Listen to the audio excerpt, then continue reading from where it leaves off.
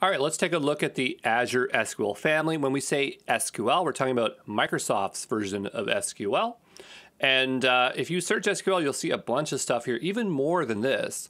And it can get really confusing, but you absolutely need to know this for the exam. You need to know the difference between these uh, three main services. So at the top, you have SQL Server on Azure Virtual Machines or SQL You'll just see like VM for it, SQL VM a lot. When you need OS level control and access, when you need to lift and shift your workloads to the cloud, when you have an existing SQL license and you want to save money via the Azure Hybrid Benefit, this is when you're going to use that, okay?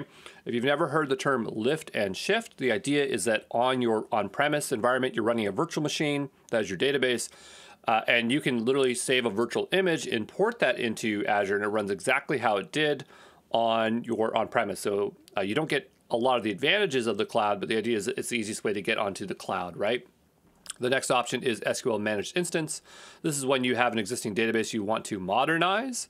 It's the broadest SQL Server engine compatibility, highly available dis disaster recovery automated backups, ideal for most migrations to cloud. So the thing is that if you're going to do a lift and shift, um, you can you can uh, kind of go to SQL Manage. So you probably have to do a transformation, some kind of like ETL job or something to go into here. But the idea is that there's a lot of different versions of um, of uh, depending on how old it is and stuff like that. So if you aren't going to be bringing your license or need OS level, you really want to be using this one because you get all the built-in scalability stuff, right?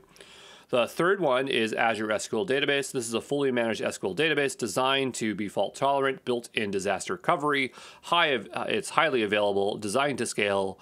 Uh, and it's the best option. Um, but uh, again, you know, if you have an older database, maybe you could do a transformation to it. Uh, and then underneath, it has SQL servers. I thought this was a fourth option, but really, when you go to Azure SQL and launch it, you actually have to create a, a server because you can have multiple SQL servers associated to a database.